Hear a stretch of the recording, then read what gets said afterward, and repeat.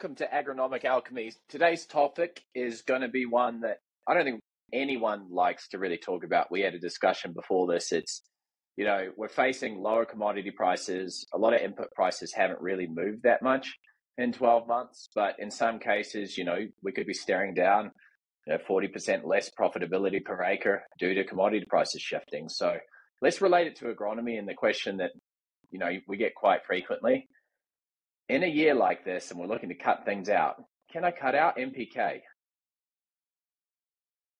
So, can we cut out NPK? You know, when we ask that question, that and that's the question that everybody's asking is because you look at you look at a crop and two of your major inputs is seed cost and fertility cost, James. And so where where's the you know seed cost when we when we talk about seed, we we've got these these these hybrid companies, we've got these soybean companies out there. They're advertising, they're promoting their brands through yield responses they get. But then we go to talk about fertility, and nobody's out there promoting fertility and saying that you know with with with this type of fertility, you're going to get this yield response like they do with seed. But you know, so everybody says, "Well, hey, that's that's a great place to cut," and and that's where I see a lot of cuts that are getting ready to happen, and and that really scares me because of of the outcome that we could be facing. Well, the other side of that too is um, just over the past couple years, from um, just my consulting experience, looking at fertility costs, these guys that used to use, um, you know, urea, MAP, DAP, that was their common go-to. Now they're looking at other sources because they're having to shop around for prices. So guys that may have never used litter, or it's been, you know, 10 to 15 years since they did, now they're going back to different sources of fertility. So where they may have had their farm finally pegged and worked out and being able to get the yields that they have been, you know, setting their goals and their sights on, now they've kind of had to go backwards and look at different forms of fertilizer and they're trying to they're trying to treat it the same as they have their past input and expect the same input.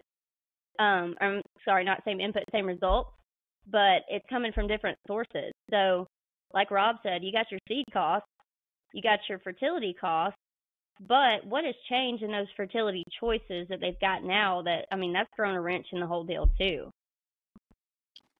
I, yes, I mean that's a really important question, and those fertility choices will bring in different placements that you may not have been using or not have been using in the past, and different efficiencies around those fertilizers. I guess the main question is: is if you're looking at a soil test, and how often do you get this question? You're somewhere and you're in Illinois, and you look at your K values. Your K values are through the roof. You might be down in an area that uses a lot of chicken manure or hog manure, and you're looking at P test levels that are 150 to 200 parts per million in the soil in those instances, is it safe for growers to say, hey, we're going to cut back on those inputs this year because my soil test is showing that it's available? You know, is that a safe option if you're looking to cut costs? Well, I don't. so, go ahead, Molly. Go ahead, Rob. Well, Well, I was just going to say, Dr. Uh, Ronnie Helms, he taught me something this past week that I was not very aware of, and that was that soil tests are generally only 17% effective at reading what's going on. So you have 17% effectiveness of your soil read. And then aside from that, I've preached before that what goes on in a lab is not very conducive to what is going on in your real infield instance. And so to me, a soil test is just a basic kind of guideline. It's just a little blip of what's going on in a small piece of your field. And so these guys may have pulled samples. You know, we've got common grid samples now, and then we've got kind of the more the old school samples, but still, it's just a very small fragment of what's going on in that soil at any point in time. And whether we pulled it in a low spot or high spot or maybe a field corner, you know, all that stuff's relative. But to me, even if we get a grid sample that has read across the field as a whole, that's still not, to me, a perfect guideline as to what to go on. So if I'm looking at a guy's soil and it shows that he has super high amounts of phosphorus. Just for example, I have a grower here that he's a dairy farmer and he puts out mass amounts of dairy manure through the pivot. And so we pull samples on him and it shows that his phosphorus is just astronomically high. However, after we plant and we get emergence within about two weeks into the crop season, we already have purpling leaves. Amazing. So that right there is a visual visual cue that we're lacking in phosphorus, even though our, his soils show that he has ample amount, it's not getting into the plant because it's not in a soluble plant usable source. And those soil samples are the ones that they're a guideline, but you've got to be able to know when to read between the lines and how to use those effectively. but Molly, how many times do we get faced every day during this time of year and the early seasons of the corn crop, you know, up to that, that V5, V6 growth stage? Do you get that question? The same as I do. But but but my soil tests say, my soil tests say if I've heard, if I had a, if I had a nickel for every time I've heard, and it's nothing against the farmers, it's the fact that just like we were told, you know, the phosphorus soil test, seventeen percent accurate. That just like Dr. Helm said, that that is an F. If we're in a classroom, that is an F. That's not even close to a D in any any school we go to. So I mean, it's it's we're we're messing with something here that's so inaccurate that it's just uh boy, it's just hard to it's hard to cue in on sometimes. So when he mentions that 17%, just to be clear, that's that's a 17% accuracy in terms of predicting a yield response from a fertilizer application. So what he's trying to say there is that 50 pounds, if you apply 50 pounds an acre based upon this soil test level, this will give you this yield response. So 17% of the time that's been accurate. And the reason is, is there's a lot of chemical interactions in the soil. Like go up to Illinois, look at two to one clay structures with potassium and look at the issues they have. They have really high potassium soils and as soon as the soils get dry, all that potassium gets trapped in there and they're really struggling to get it up into the plant. You know, we mm-hmm. talk about these things with P and K. The one thing no one's ever going to cut is nitrogen. I mean, realistically, growers are conditioned to using nitrogen. And and previously, you know, up until about 20 years ago, if a, if a corn plant looked purple, they just throw more nitrogen at it. Now we're looking at different forms and fertility. P and K is the sensitive one because it's something we see accumulate in the soil. We don't see nitrogen accumulate in the soil. So everybody right now is being like, well, maybe we should cut back on P and K. And yeah, we don't sell fertilizer here. We're not talking about this, but we're talking about profitability on the farm. So my question to you is, if you've got a thousand acres and you farm a thousand acres of corn and commodity prices are down 40%, your earning potential off that thousand acres has dropped. Now, you talk about you can't pick up 40% more yield, what you have to do is you have to focus on picking up your ROI or your profitability per acre.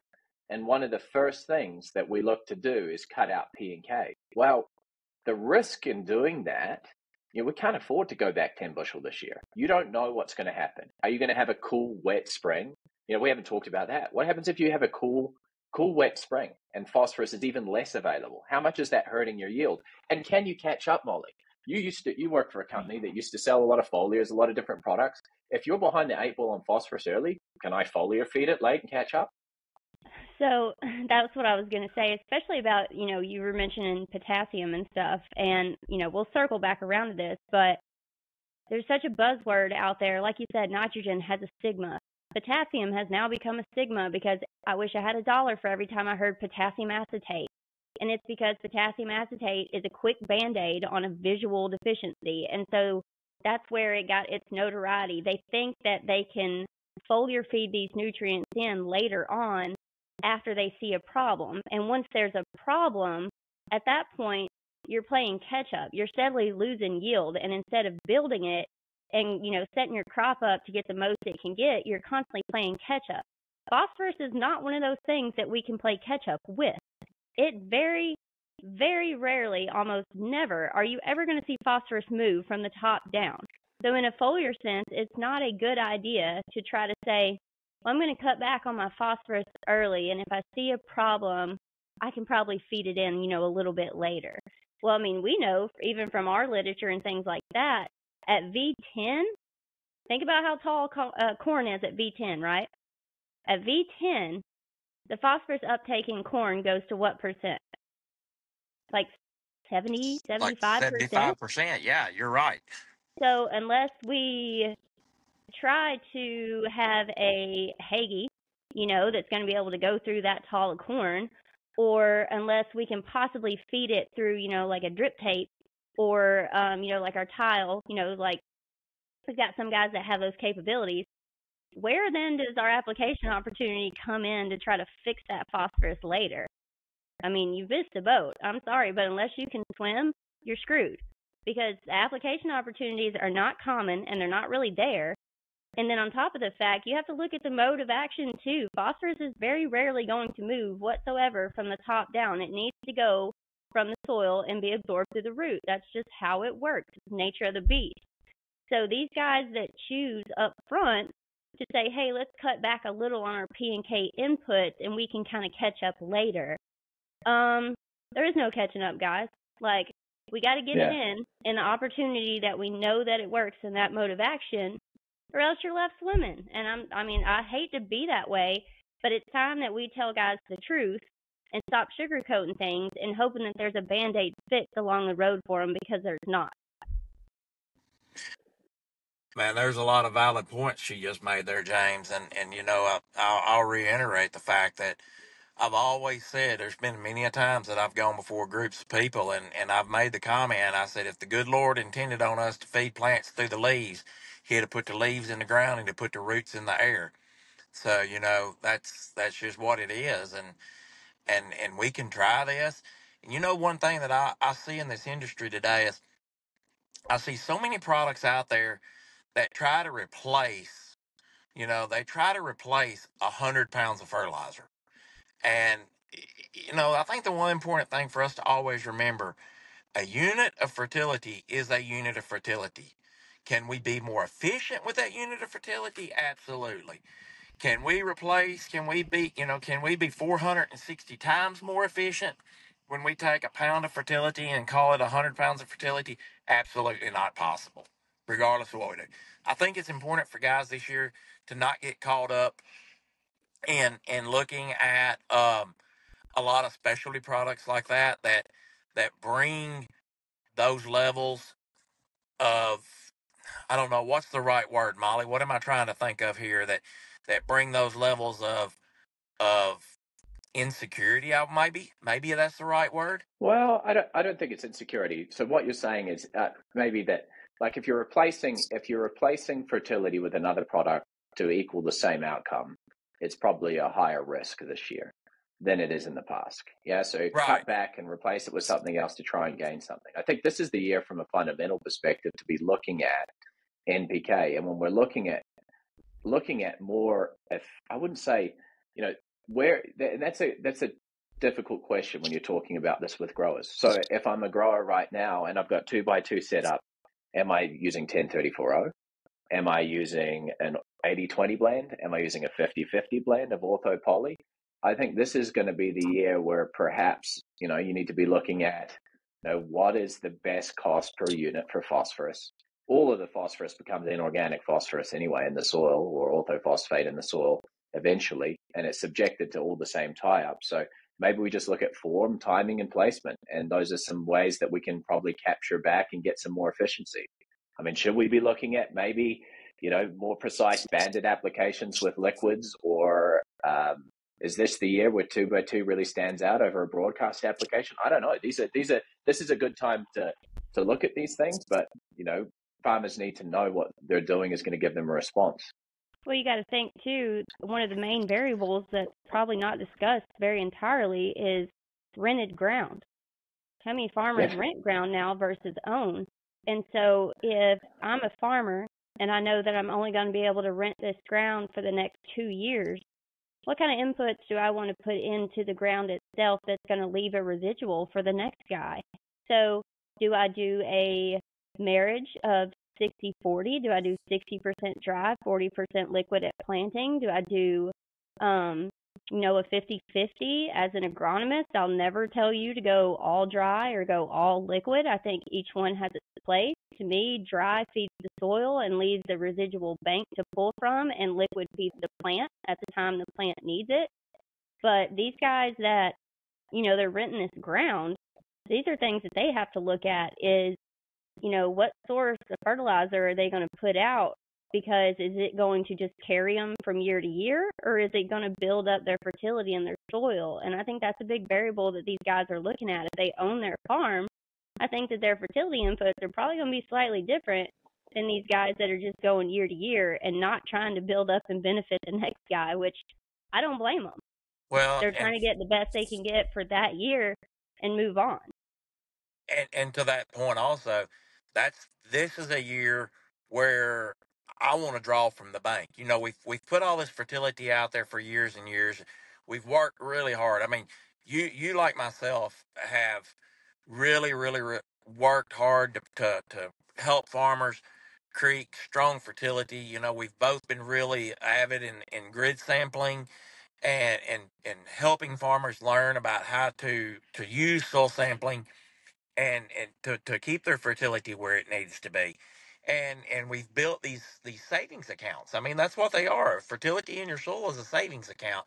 This is the year that i want to reach out there. I want to grab some of that but in order to grab that we're going to have to have help getting that back out because the the the, the elephant in the room you know fixation has uh, has occurred. And and why is that fertility still in the ground? It's because it's become tied up it's time to untie that knot Well, is it? Are we talking about? Are we talking about a savings account, or are we talking about social security that we pay into and we don't know if we're going to get in thirty years? Good point. I mean, Great re- really, really, really, every time we're doing this, we're putting something away for an end date that we don't know we're going to be able to access. I think the main point of this conversation, and I think you know we've probably created a lot more questions that we can talk about after this, but that if it boils back down to it, we're talking about NP and K, and is it okay to cut back? I think the two main things from this conversation is a predictability from soil tests is low, fixation is high. You really have to understand your soils pretty well. And if you're a farmer that's done rate response trials in the past and you've noticed on your farm that you haven't seen a dip and you have multiple years of doing this, that's probably, you know, you know your soils, you know that you might be able to cut back. But I think the risk is too great this year.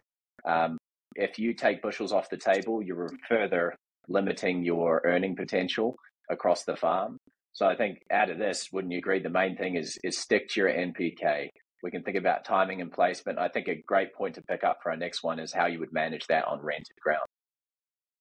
Oh, yeah, definitely. Um, I know it sounds like it's a very daunting task to not be able to pull out of that NP and K, and so not trying to scare anyone, but if that's a concern of yours and you're trying to look at bettering yourself and your NPK input, you know, this is where you come in and you talk to people like your consultant, like us, and we can help you in making the NPK that you're putting down or you're already existing much more efficient for you. It's not something to be scared of. It's something to be discussed, ask questions, get good educated answers and let somebody help you. Don't be scared to to ask for help because there's ways to boost your budget and boost your inputs and effectiveness of your fertilizer input. But a lot of the times, just like we said, those soil tests, 17% accuracy. So how do you know how to read that and get what you need to get? Like, I'm just saying, we sound like we were gloom and doom a little bit, but there's always an open phone line between myself, Rob, James, whomever is your trusted consultant. Like, ask those guys. Don't be scared to ask. Yeah, you're absolutely right. You know, this year's going to be all gas, no brakes. We've got to get every bushel we can this year to make this profitable. We've got to make every bushel count. We've got to add bushels, and we've got to figure out ways to add extra bushels beyond what we're used to making this year while conserving the funds that we put into this crop, not to overspend on this crop. Right. With that note, we'll wind up for this week, but let's talk on the next one. I, Molly, I really look forward to sitting down and, and you brought up a point here that I don't think we really talk about. How do we manage rented ground versus ground we own? So on the next episode, we'll dive into that a little deeper and see what we can uncover.